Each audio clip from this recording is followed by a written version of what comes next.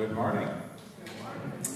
I don't know whether it's the lovely weather we're having, the homecoming that seems to be happening here at McGill, which may have affected parking, uh, or the stewardship topic that has resulted in uh, fewer folk. Uh, sometimes the word stewardship frightens people away. I hope that won't be the case today.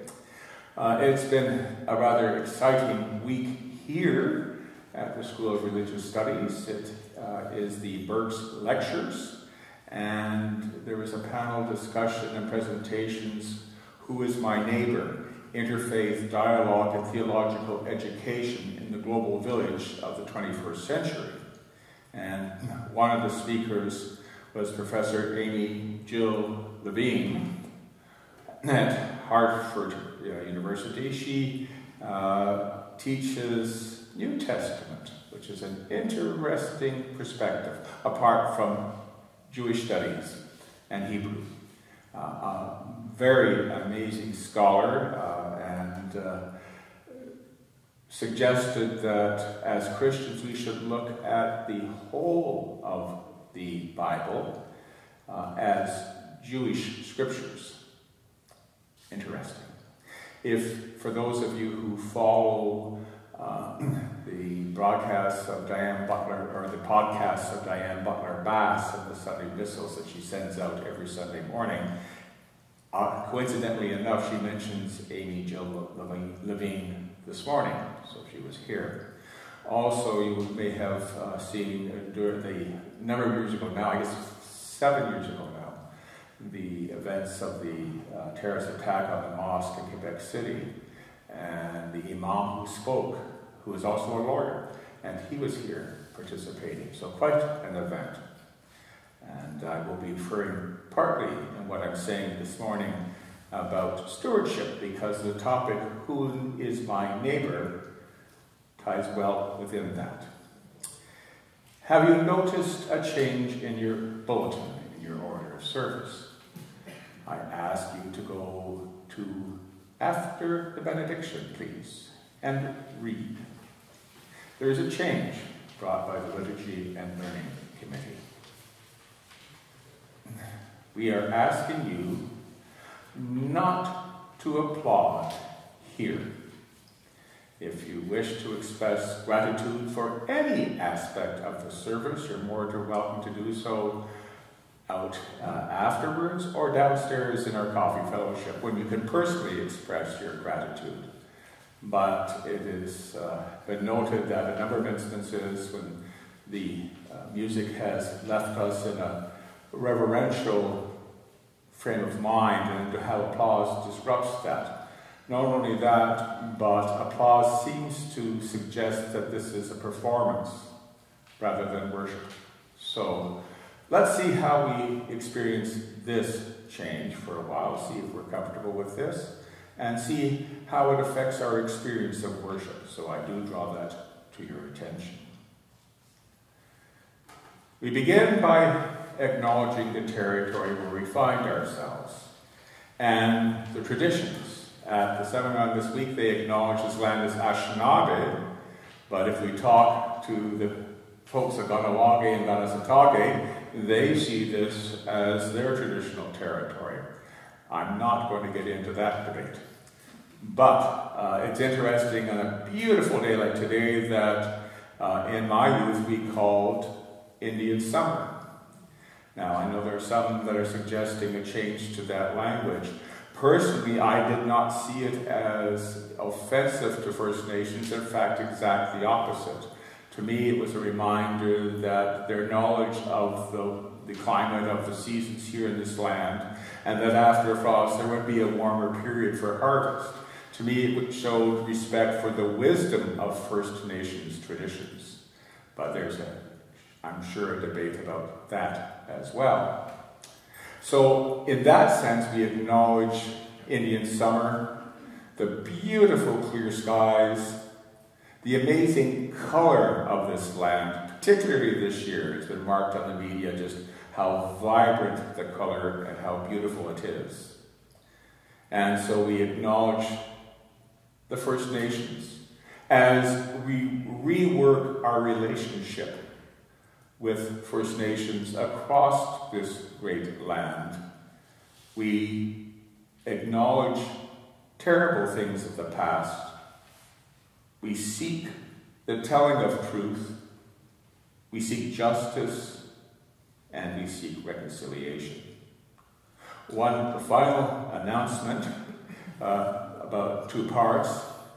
On Friday at 2 p.m., the service for Dr. Edwin Coffey will, will be here. Uh, they did not wish it put into the Saturday, say, I'm sorry, Saturday at 2 p.m. Friday at 11 a.m. the Utamon Chapel will be the service for Judy Johnson, but Saturday at 2 p.m. here in the Birks Heritage Chapel. And the family, the Coffey family did not want it in the bulletin. They wanted just those, uh, because of space concerns, uh, that are of the congregation uh, to, if they wish to come, they are welcome, but they didn't want it published in the bulletin.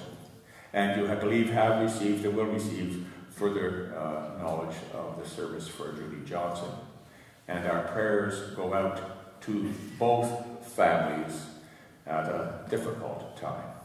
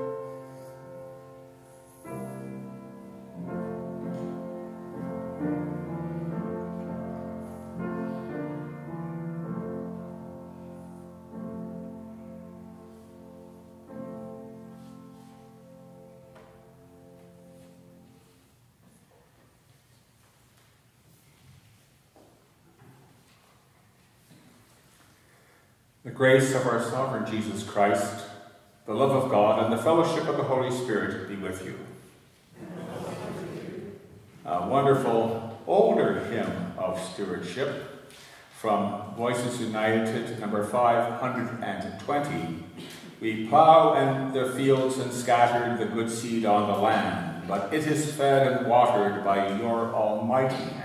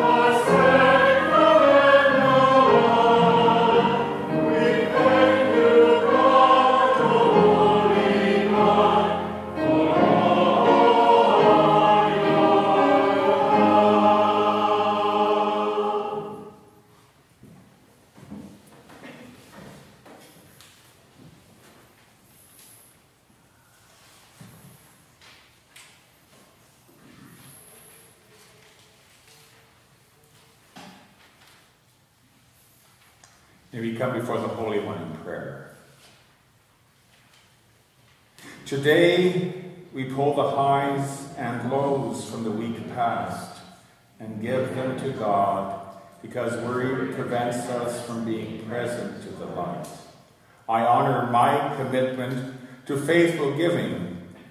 Remove funds from my account and offer them to God because cynicism cannot grow when it is met with hopeful action.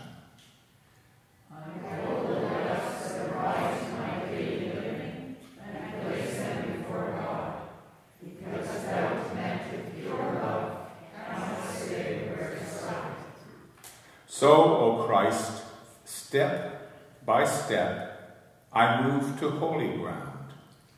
The world is this ritual of giving reorients me. In a world of troubles and contradictions, it helps me see. I give and I return to the center of me.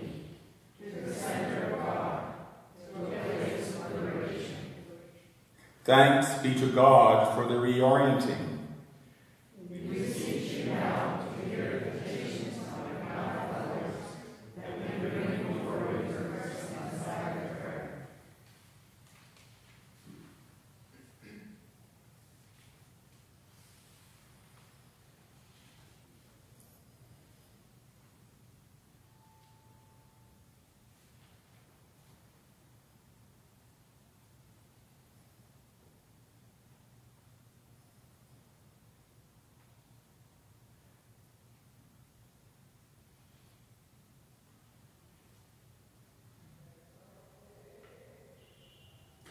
To these prayers, we bring our concerns for those who are mourning this day.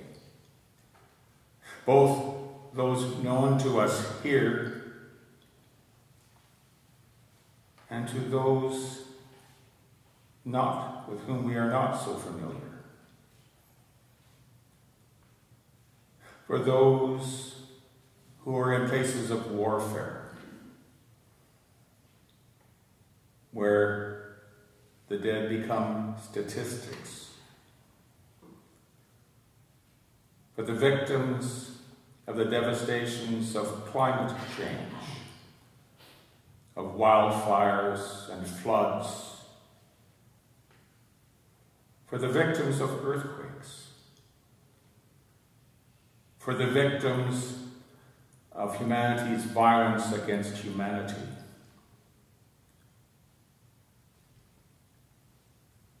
May we truly respect the Testament's call to respect human life, that it is in the image of the Creator and God given. May we learn to walk more gently, both on our Mother the Earth and in relationship with our sisters and brothers. May we learn the covenantal path. We pray for all in places of authority, in difficult times. We pray for political calm in the United Kingdom We pray for the ability of our leadership to serve.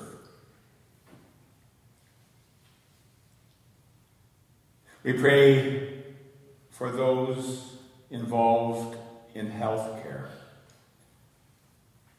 for those on the front lines,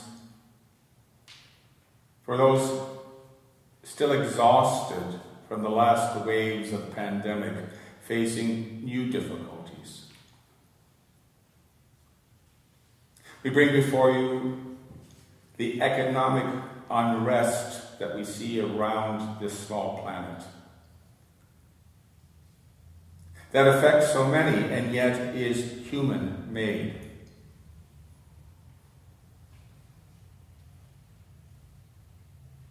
In the message of Creator, we decry those who are obscenely wealthy in the presence of those who are destitute. We bring reminders of the stories of Lazarus and the lessons of our traditions. We pray for peace amongst the faiths of this world and those who find their faith only in humanity. We pray for those who are suffering of body, mind, or spirit, and for those who feel abandoned by the world, and those living on our streets as we face winter. We pray for a more just and compassionate society.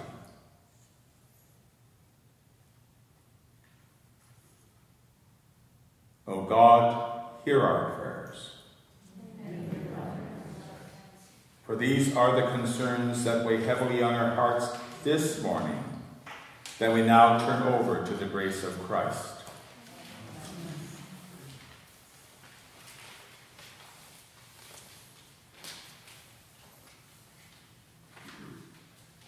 It is thought that the first letter of Peter probably is not written by Peter himself, although some still try to say that it was, but the Greek is far too educated for a Galilean fisherman. It is thought that this was written, therefore, not under the persecutions of Nero in around 64 of the Common Era, but the beginning of the Diocletian persecutions, called the Great Persecutions, starting around 80 81 of the Common Era. Be hospitable to one another without complaining. Like good deacons of the manifold grace of God, serve one another with whatever gifts each of you has received. Whoever speaks must do so as one speaking the very words of God. Whoever serves must do so with the strength that God supplies, so that God may be glorified in all things through Jesus Christ. To him belong the glory and the power forever and ever. Amen. This is the witness of the early church.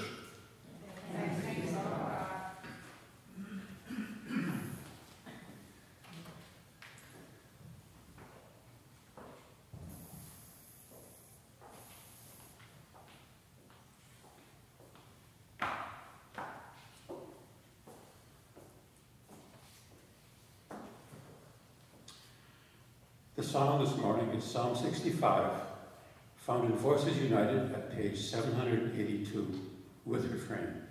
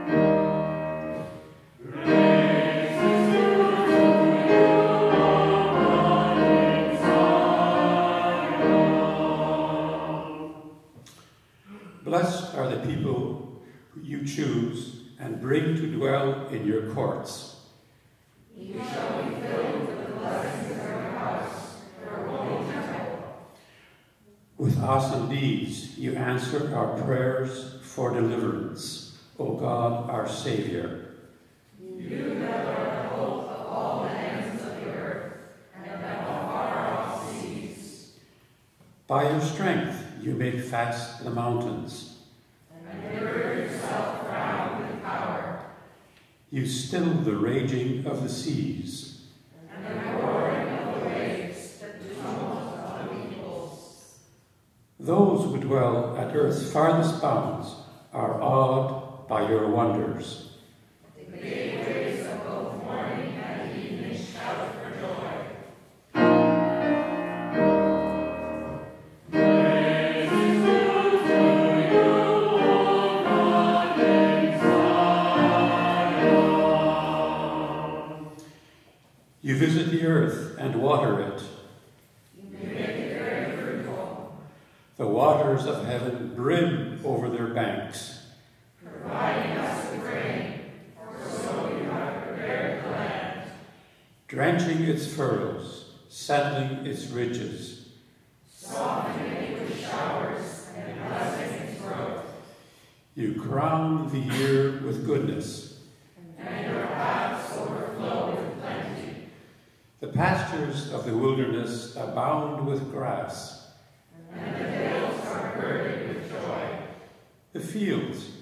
Clothed with sheep.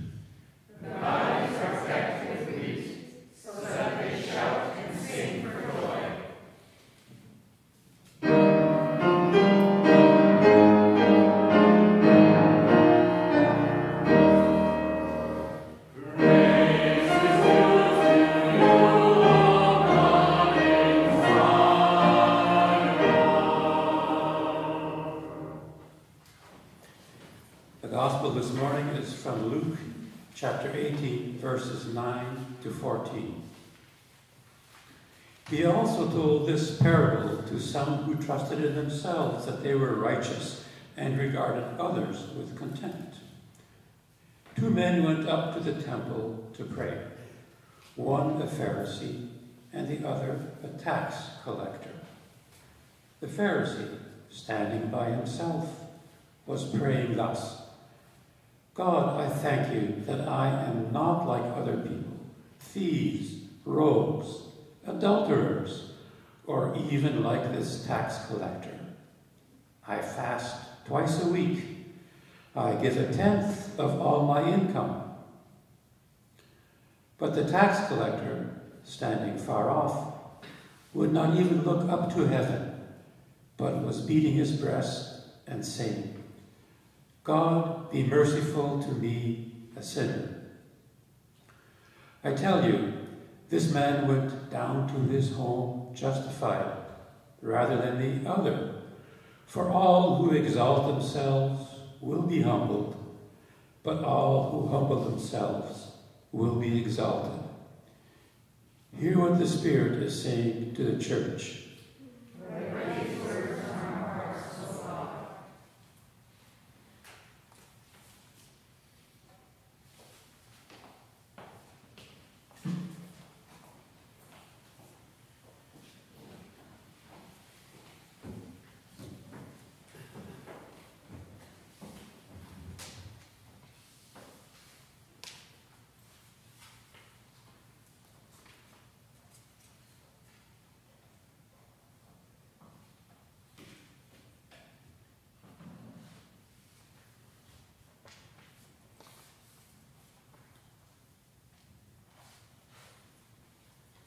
Technology.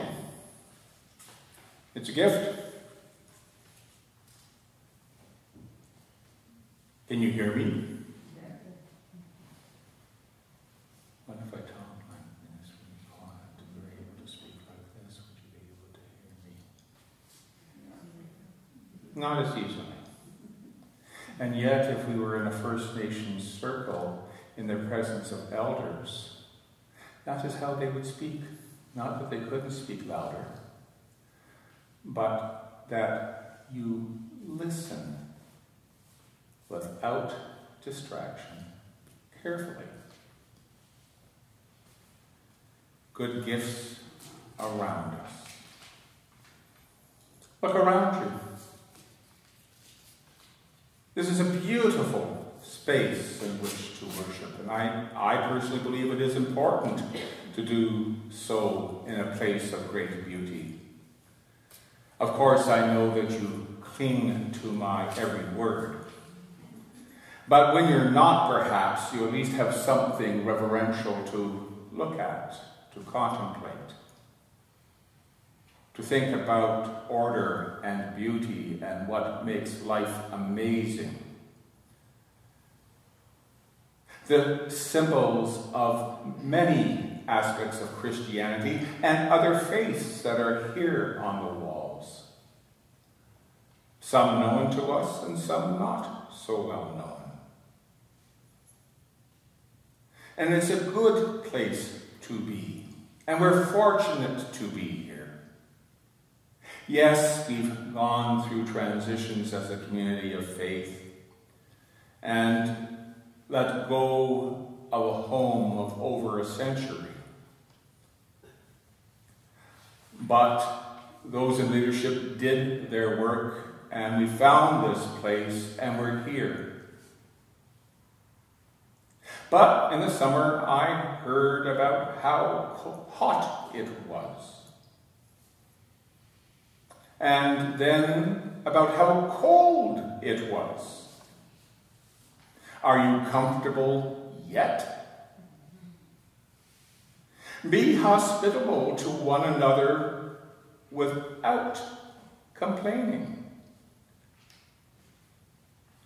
Good luck, Peter. It seems to be human to grumble, to gripe. It's in that early story of Exodus. They've escaped slavery.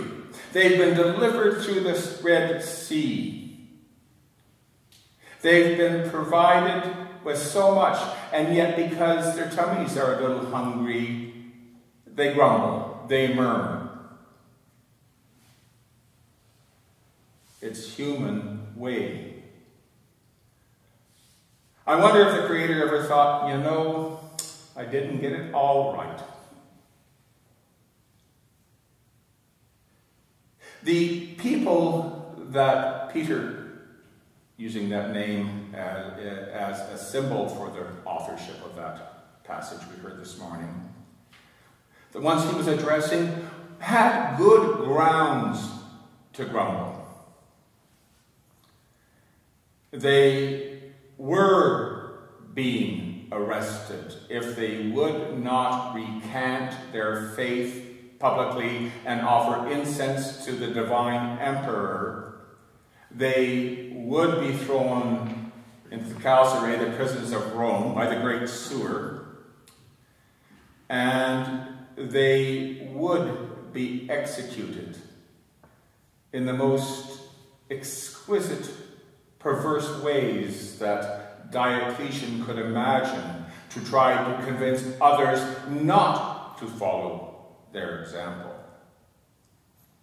The spectator sport of public execution.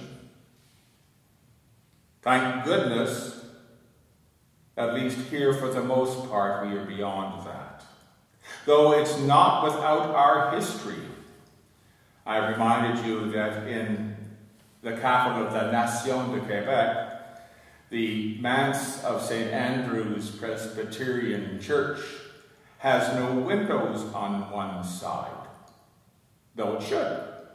But it doesn't because it faced the jail yard of the city of Quebec, and it was thought not fitting for the lady of the manse to view public executions. So these folk have reason to grumble, and yet this author says, don't. Be hospitable. The author urges to be at peace with one another and to live with respect in the empire. And so you have this image of a different way of being, even in the face of incredible difficulty. And so this passage concludes with that ascription of glory that we have put into the Protestant version of the Lord's Prayer. To him belong the glory and power forever and ever. Amen. It's as if this is a hymn or a creedal statement of the early church as to how to work with one another, to serve one another. The term is as home lawyers of the gifts. That's the little tra literal translation of the text. As home lawyers of the gifts. You are the administrators of the estate, handed to you by Jesus Christ. And you're called to do so with wisdom and compassion. And stewardship is far more than talking about how much money can we acquire and how much money should we be giving. That's in other passages and quite clear. I almost wish that we would separate the financial campaign Sunday from a stewardship Sunday because though they have connections, they're different. Stewardship is a way of life. It's an understanding that you have received gifts, that you are in relationship with God, your Creator, that you are covenanted in that relationship, and therefore you have relationship with your sister and brother, a covenantal relationship. It starts with our Jewish ancestors and the reciting of Leviticus 19. Love the Lord your God with all your heart, with all your soul, with all your might, and your neighbor as yourself. The traditional prayer before reading of that Torah scroll would be I take upon myself the commandments of loving my neighbor. I take upon myself the commandments of loving my neighbor, of being vulnerable in a world that prides itself on independence, of acknowledging that life is fragile and that we are woundable that is part of truly who we are. That is the reality. And so the way of business of this world, what is yours is yours, is what is mine is mine, I'll be better if I get what is yours, changes to the way of covenant. I am your Holy One, therefore, sisters and brothers are mine, and I am theirs. I am your Holy One. Therefore, my sisters and brothers are mine, and I am theirs. And so your sisters and brothers are yours, and you are theirs. Be hospitable to one another without grumbling. Stewardship is just not another term for giving money. Stewardship is simply the act of being a steward. A biblical steward is one who has entrusted with the property of the owner and expected to manage it wisely as the owner themselves would manage it. Not to hoard, but to invest. There's a story about that I seems comes to mind in the stories of Jesus about being generous, investing, growing the kingdom of God, of living a covenantal way of life. Not a contractual in that sense that we understand the world of business. Our busyness is with our sisters and brothers in covenant. For all good gifts around us are sent from heaven above. So thanks to God and thanks to God for all of God's love. Therefore, be hospitable to one another without complaining. For to him belongs the glory and the power forever and ever. And the people shall say, Amen.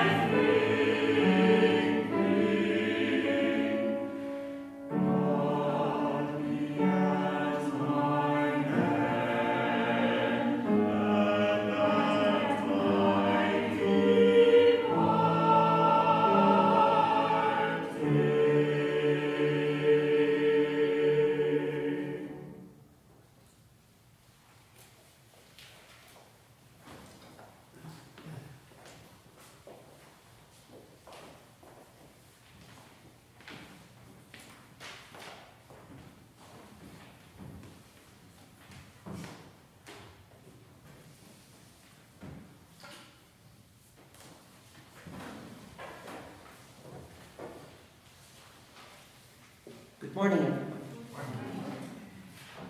Helen, Helen Walton, wife of Sam Walton, founder of Walmart, said, It is not what you gather, but what you scatter that tells what kind of life you have lived. Nobody in the church likes to talk about money, especially on a Sunday morning service, but that task falls to me today as your chair of finance on this Stewardship Sunday. As you know, we have been working for the past number of years to decrease our expenses, an attempt to live within our means. As good stewards, we took the difficult but courageous decision to sell our beautiful old building. In so doing, we anticipated, and in fact we are experiencing, savings due to reduced property expenses, things like heating and electricity, repairs, custodial salary, grounds, maintenance, etc. This past year, we budgeted less than half of what we spent pre-COVID in 2019. But we are far from living within our means. Our expenses far outweigh our revenues. The choice at this point is stark. Do we spend till we have nothing left? Do we cut back further? Or do we work towards increasing our givers and or our givings, which is not a simple task? So far, we are choosing to invest, hoping the third option will come to fruition. We are adapting to our new home and all that it entails. We rent this beautiful setting and it comes with a significant cost. Moreover, your Mountainside session has committed to investing more in our already excellent and innovative music program led by our very talented Aldi Santos. You will have noticed the soloists performing each week, including various guest musicians with more to come. As well, Session is committed to developing our online service and live streaming abilities. This has proven to be a challenge, but we are working closely with McGill. We are investing in new equipment, and the goal is to provide a much improved Sunday service to those watching online. While I'm focusing on the day-to-day -day expenses of being a church, frankly something we cannot ignore, I don't mean to downplay in any way the significance of our social justice work.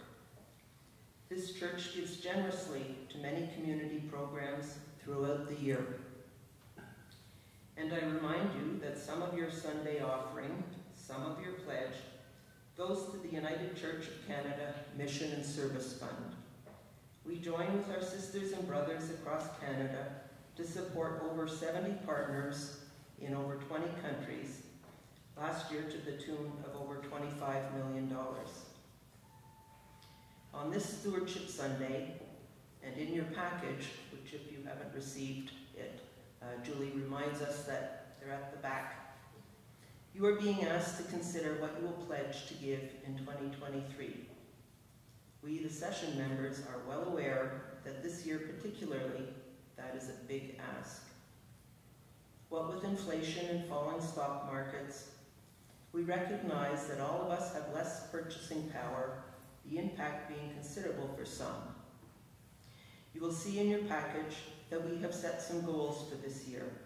One being to have more people on pre-authorized remittance or PAR, a simple monthly deduction from your bank account, which allows for a steadier, more predictable income for us. Please consider these goals in your decision making Perhaps you might also ponder why you give. In a recent article in Broadview, Reverend Yeager said, I give in order to help make the world more like God intended. I give as a way to fight back at greed and individualism. I share what I have in order to publicly say that we are all in this together and that I am only stronger and healthier when we all have enough to eat and a safe place to live. And when we all know that we are cared for and loved. So why do you give? We ask that you go deeper, reflecting on that question, on what you have received in the past year and in considering your pledge for the year to come. On behalf of the Finance Committee, I thank you for all that you do and all that you give that contributes to making Mountainside so special. And to end, I ask that you join me in a prayer from the United Church Mission and Service Fund about a gift that costs you nothing, entitled Daily Bread. Bless me to share my daily bread, healthy portions of compassion and love, not out of guilt or duty, or an eye to what I might receive in return, but humbly in the way of Jesus, such that his grace is needed through all my daily offerings, broken open, blessed, and shared with both the loneliest stranger and the deepest friend. Amen.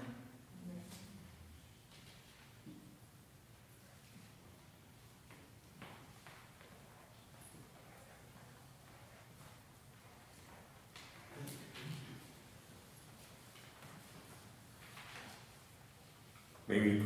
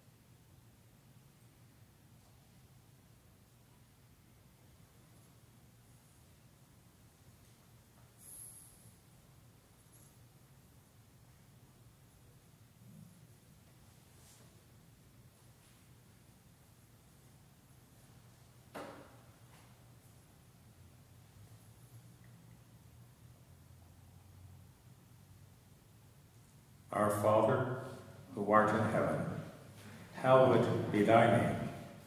Thy kingdom come, thy will be done on earth as it is in heaven.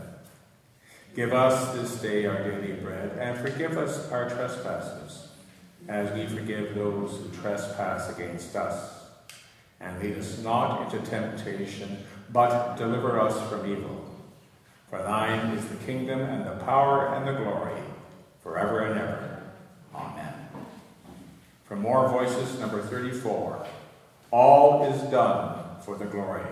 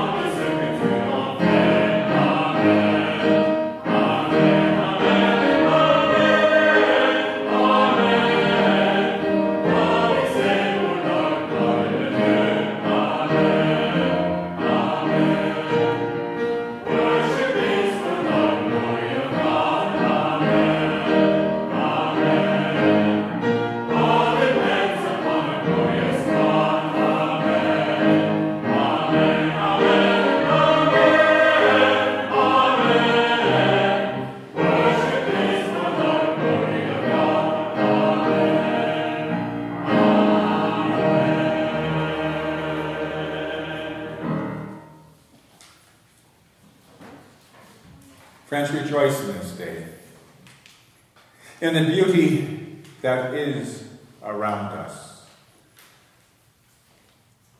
Coming in this morning